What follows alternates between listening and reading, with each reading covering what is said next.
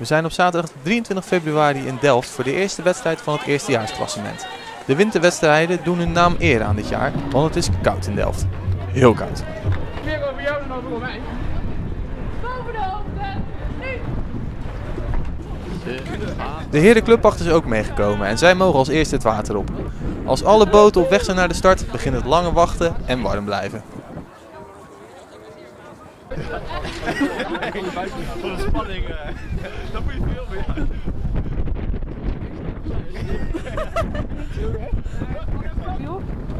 De mag als eerste van start. Zij zetten een nette prestatie neer met een twaalfde plek en zijn daarmee sneller dan menig zware acht. Niet lang daarna mogen de eerstejaars zwaren door de start heen. Gedurende de race komen ze steeds beter op stoom en ze eindigen uiteindelijk als zesde. In het volgende veld zet de lichte eerstejaars 8 de snelste eerste kilometer neer en wordt uiteindelijk verdienstelijk vijfde. De eerstejaars dames zijn als laatste aan de beurt, ze worden uiteindelijk veertiende.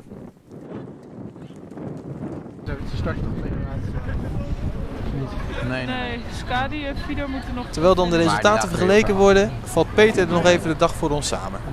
Het is echt blik op oneindig en gaan. Ja. Maar toen we eenmaal gestart waren was het wel echt heerlijk, want het was tenminste warm. Wat? Pissen!